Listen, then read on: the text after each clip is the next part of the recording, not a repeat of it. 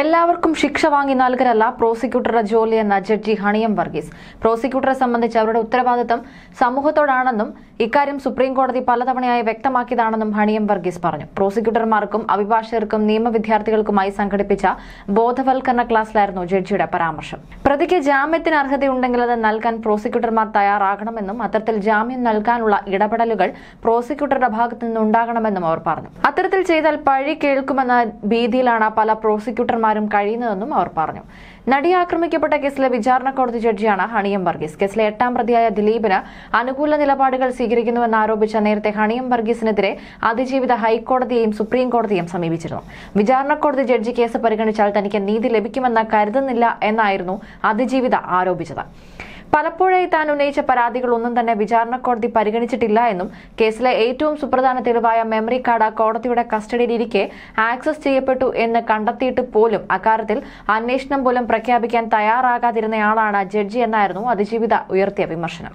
മാത്രമല്ല ദിലീപും വിചാരണ കോടതി ജഡ്ജിയുടെ ഭർത്താവും തമ്മിൽ ബന്ധമുണ്ടെന്നും ഇത് സംബന്ധിച്ചുള്ള തെളിവുകൾ പോലീസിന് ലഭിച്ചെന്നും മേൽക്കോടതികളിൽ അതിജീവിത ആരോപിച്ചിരുന്നു. അതേസമയം അതിജീവിതയുടെ ആവശ്യം കോടതി തള്ളുകയായിരുന്നു. മാധ്യമങ്ങൾ തെറ്റിദ്ധരിപ്പിച്ചതിനാലാണ് അതിജീവിത വിചാരണ കോടതി ജഡ്ജിക്കെതിരെ ആരോപണങ്ങൾ ഉയർത്തിയതെന്നായിരുന്നു ഹൈക്കോടതി പറഞ്ഞത്.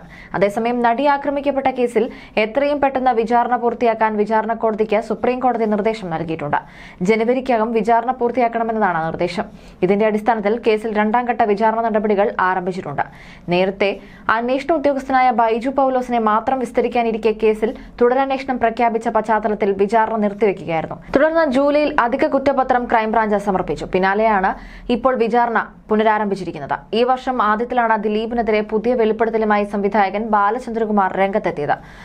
നടി ആക്രമിക്കപ്പെട്ട കേസിന്റെ വിചാരണ അന്തിമഘട്ടത്തിലേക്ക് കടക്കവെയായിരുന്നു പുതിയ വെളിപ്പെടുത്തൽ. ഇതോടെ വിചാരണ നിർത്തിവെക്കുകയും വെളിപ്പെടുത്തൽ സംബന്ധിച്ച് അന്വേഷണം നടത്താൻ കോടതി നിർദ്ദേശിക്കുകയും ചെയ്തു.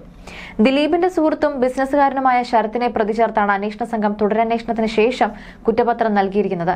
ഇനി നടി ആക്രമിക്കപ്പെട്ട കേസിൽ വിചാരണ പുനരാരംഭിച്ചിരിക്കുകയാണ്. സാക്ഷികളെ സ്വാധീനിക്കാനും കേസ് അട്ടിമറിക്കാനും ദിലീപ് ശ്രമിച്ചുവെന്നാണ് പ്രോസിക്യൂഷന്റെ ആരോപണം. അതുകൊണ്ട് തന്നെ ദിലീപിന്റെ ജാമ്യം റദ്ദാക്കണമെന്ന് പ്രോസിക്യൂഷൻ ആവശ്യപ്പെടുന്നു. എന്നാൽ വിചാരണ കോടതി ആവശ്യം തള്ളി. തുടർന്ന് പ്രോസിക്യൂഷൻ ഹൈക്കോടതിയെ സമീപിച്ചു. ഹൈക്കോടതി പ്രതികരണം തേടി ദിലീപിന് നോട്ടീസ് അയച്ചു. ഈ നോട്ടീസ് ദിലീപ് കൈപ്പറ്റിയിട്ടില്ല. അതുകൊണ്ട് തന്നെ നോട്ടീസ് തിരിച്ചെത്തി. ഇക്കാര്യം കോടതി അറിയിച്ചു. തുടർന്നാണ് പുതിയ നോട്ടീസ് അയക്കാൻ ഹൈക്കോടതി നിർദ്ദേശിച്ചത്. ദിലീപിന്റെ അഭിഭാഷകൻ മുഖേനയാകും ഇനി നോട്ടീസ് അയക്കുക. ദിലീപിന്റെ പ്രതികരണം ലഭിച്ച ശേഷമാകും വിചാരണ നടപടികളിലേക്ക് കടക്കുക എന്നാണ് വിവരം. അങ്ങനെയാണെങ്കിൽ വിചാരണ ഇനിയും വൈകാനുള്ള സാധ്യതയുമുണ്ട്. You are watching You are watching You're watching me on, and you're watching me on, on metromatney.com. on metromatney.com. metromatney.com. metromatney.com. subscribe for more videos subscribe for more videos Subscribe here for more videos. Subscribe now. Thank you.